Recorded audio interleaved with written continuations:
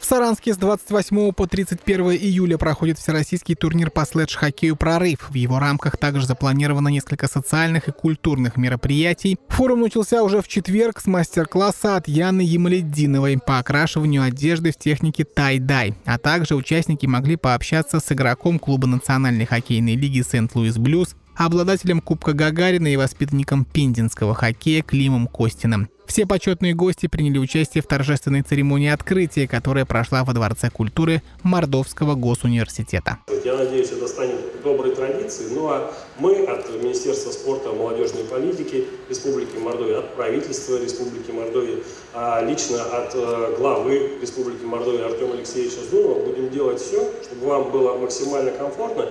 И такие мероприятия у нас э, проводились как можно чаще Потому что это здорово, это ярко, и э, вы, только и вы доказываете, что нет ничего невозможного, и вы, э, ребята, с безграничными возможностями. Благотворительный проект «Больше, чем спорт» занимается развитием детских адаптивных видов спорта на территории нашей страны. Все началось именно со слэдж-хоккея чуть больше года назад. За это время руководителям удалось организовать команды в трех городах, где раньше слэдж-хоккея не было. Это Балакова и Кузнецк из Саратовской и Пензенской областей, а также Саранск. Успешный опыт по интеграции детей с ограниченными возможностями перерос в еще один проект «Культура через спорт», где участники подобных мероприятий не только соревнуются друг с другом, но и открывают для себя новые города нашей страны, познают культуру народов, общаются с известными людьми из различных сфер.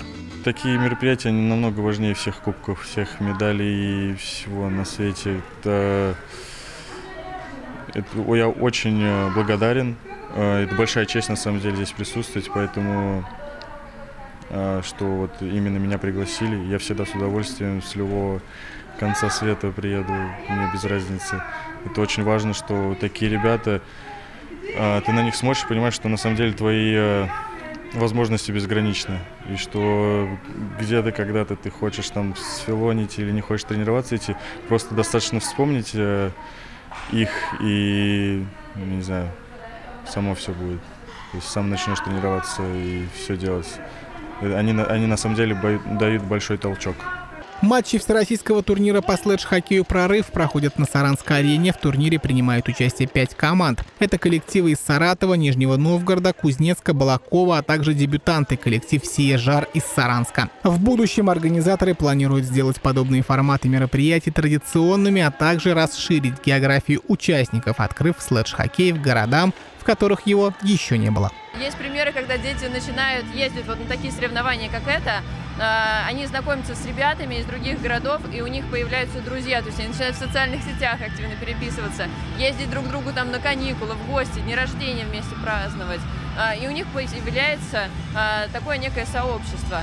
А, и после того, как мы увидели, как спортивная тема им помогает развиваться, мы сделали еще дополнительное направление а, культура через спорт, а, чтобы через спорт для наших детей прививать культурно-нравственные ценности. Поэтому в рамках командообразующих мероприятий у нас проходят путешествия в разные города, экскурсии по музеям, знакомство с историей своей страной, встречи с выдающимися людьми, предпринимателями, которые добились определенных успехов, для того, чтобы наши дети понимали, что они могут достигать выдающихся результатов в любой сфере, какую бы они для себя не выбрали. Хочет стать врачом, он может им стать. Хочет стать там певцом, он сможет стать.